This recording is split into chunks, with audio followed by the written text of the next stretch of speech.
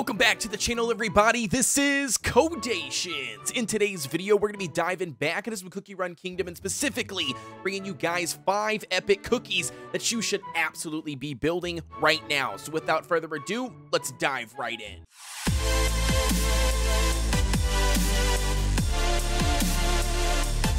Diving right in, ladies and gentlemen, so starting us off here in the video, we're going to be taking a look at the very first cookie that you should absolutely be building of the epic category, and that's going to be Twizzly Gummy.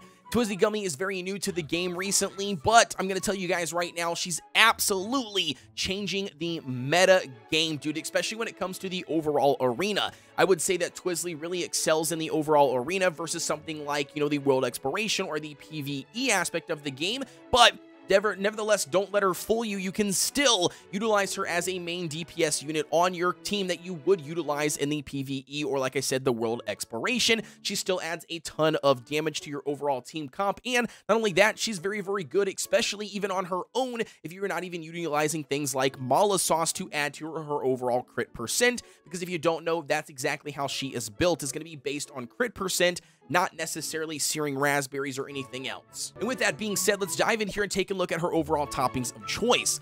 When it comes to Twizzly Gummy, in my opinion, I think the best way to run her based on her skill is going to be the Juicy Apple Jelly. Obviously, taking advantage of the full set bonus to get the additional 5% crit is a absolute must, especially, like I said, if you are not running Mala Sauce. If you don't know, Mala Sauce provides a crit rate up bonus um, for whoever cookie has the highest crit rate already, and because of that, if you're not running Mala, you absolutely are going to need to be running these juicy apples to make sure that you are utilizing Twizzly to her maximum efficiency. And then as far as substats go, I would really say that I think focusing in on additional crit percent is going to be an absolute must podcast if you are not running Mala because you're sacrificing that additional crit percent that you know, Mala would obviously be providing, and with it not being provided, any additional crit that you can get is going to be welcomed. Outside of that, especially for the overall arena aspect, I would say grind out some additional damage resistance from substats if you can, because obviously it's going to allow Twizzly to stay alive longer. Same thing goes for the overall crit um, resistance. And then obviously running the additional attack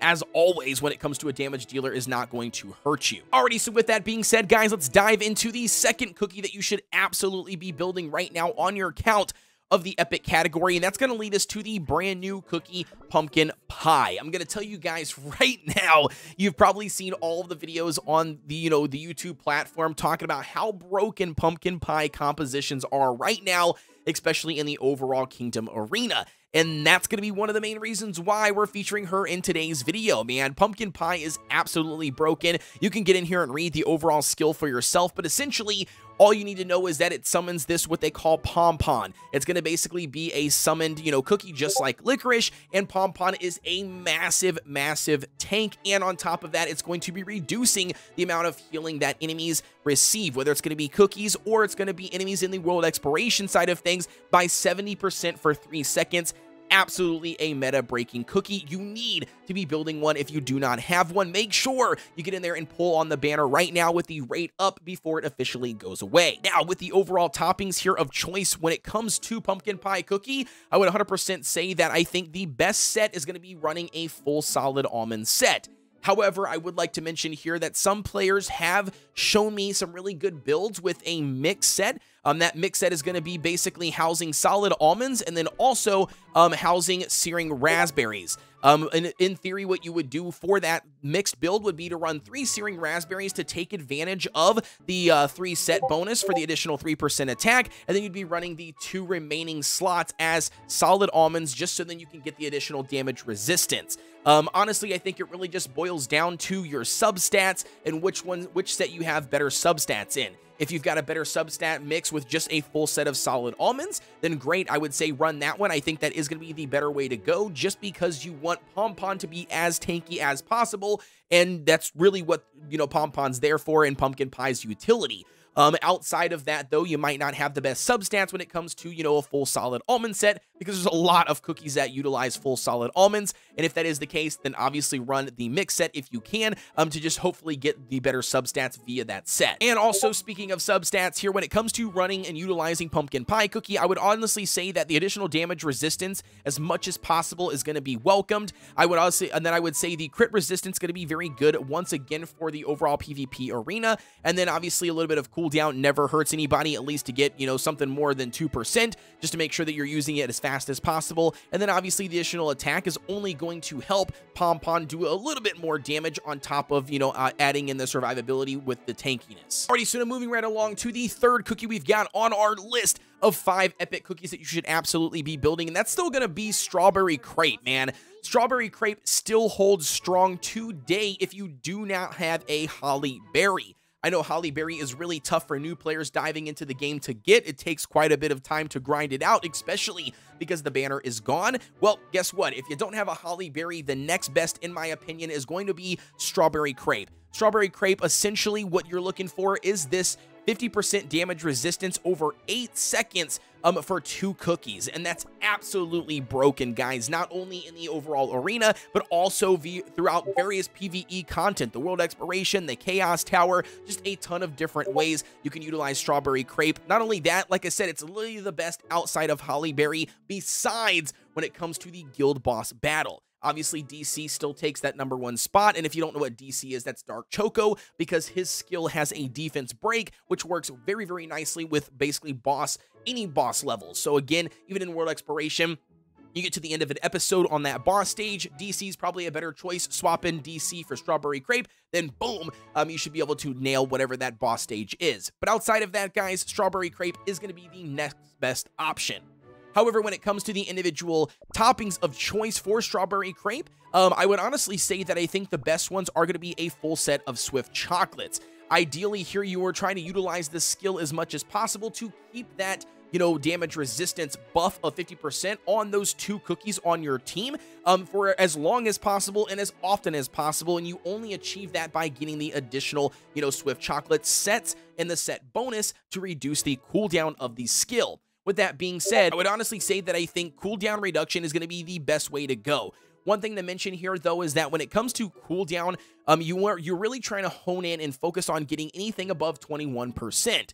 You can obviously see here that I might have a little bit um, of overkill because I'm getting the 5% set bonus on top of my subs already giving me 21.4%. So in theory, I could be swapping these out uh, for some additional sub stats, you know, after I have already achieved the 21% but it is what it is for, for today's video. But as far as the overall substats go, I would probably say focus additionally on damage resistance too, just because that's going to add to the survivability, especially when it comes to things like the overall arena. Same thing goes for crit resistance for, to hopefully survive some of those damage um, or those burst damage comps in arena.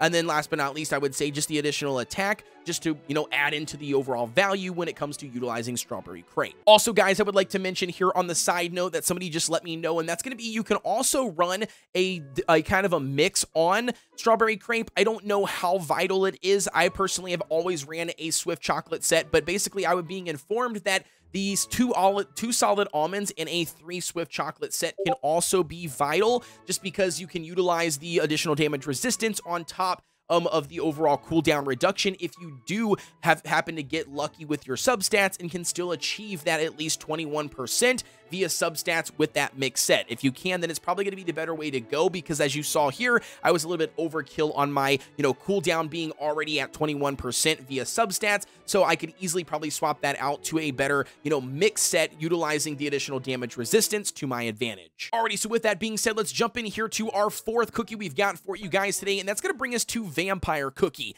Once again, guys, still honestly the best single target damage dealer in the game. You can't argue with it. The guy literally does the most damage to a single individual unit. And not only that, he's got the ability to heal himself based on the damage that he performs. So again, very, very good unit to build. Absolutely the best damage dealer for the overall guild boss battle. Very, very good for sniping out cookies in the overall arena, especially at lower tiers. You can take out some of those easy um, targets in the back line, which then literally make up their composition. You take out those back units like the almond and the cheese comp, or the pure vanilla or herb or parfait for their healer, then you pretty much have it GG in a bag. Um, same thing goes for specific boss stages. You know, utilizing Vampire and the Slingshot in DC is going to benefit you tremendously over other types of damage dealers, aka, you know, AoE abilities. Um, it's going to be doing just significantly more damage as a single target when it comes to bosses. As far as overall toppings go, honestly running a full set of Searing Raspberries and just building as much attack as you possibly can is going to be ideal here. I mean, obviously you can build a little bit into cooldown if you happen to just get lucky with those subs, um, but I definitely think that, you know, the three main ones, the additional attack would be number one. You've got a little bit of cooldown and also damage resistance. I think, you know, none of those three can really hurt um, Vampire overall, but he is a damage dealer, primarily there to do as much damage as possible, focus in on building the additional damage resistance. Alrighty, so now officially diving in here to the fifth and final cookie we've got for today's video that you should absolutely be building, and that's going to be Black Raisin. Um, there's a good reason behind this. I mean, I know a lot of people currently are, you know, building Sorbet, and I still think that Sorbet versus Black Raisin, um, Sorbet can be a better, you know, overall damage dealer, um, and potentially, you know, utilized via utility throughout the game, you know, for his skill switching back and forth but you should absolutely still be investing in a Black Raisin if you have the resources and you haven't already built a Sorbet, because Black Raisin is very, very good. She provides AoE damage, and not only that, when it comes to utilizing her in general, she's an ambush cookie, so she does a mega ton of damage over top of all of the other classes in the game, and she pretty much fits with any team composition. She's kind of like a vampire, if you will, because they're both ambush units, um, but provides some AoE, and like I said, works very, very nice in all types of content, PvP or PvE, like World Exploration, or the Chaos Tower, or the Tropical Islands, doesn't matter. She literally can fit in any team comp. With that being said, let's go ahead and jump in here and take a look at the overall toppings of choice. As always, guys, just like Vampire, you're going to be running a full Searing Raspberry set because they are a ambush cookie.